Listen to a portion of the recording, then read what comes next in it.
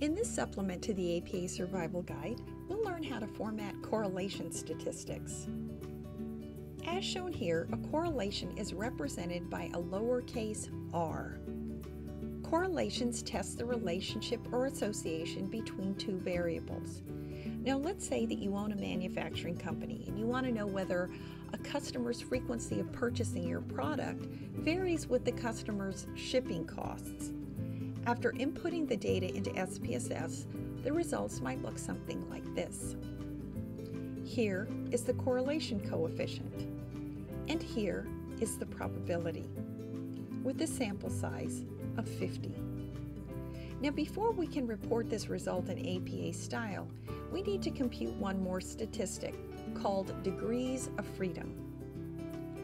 As shown here, the degrees of freedom are equal to the sample size minus 2. Since the sample size in this situation was 50, we have 48 degrees of freedom. When writing your results, use this format. Just insert the results from your output.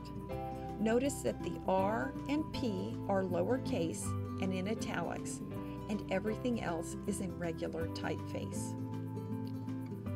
Also note that zeros are not placed before the decimals because R and P never exceed 1. Also, put spaces before and after the equal sign to make sure that the result is readable.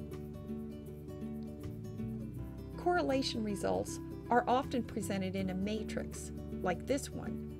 Notice that a range of p-values is provided along with asterisks so the readers understand the results.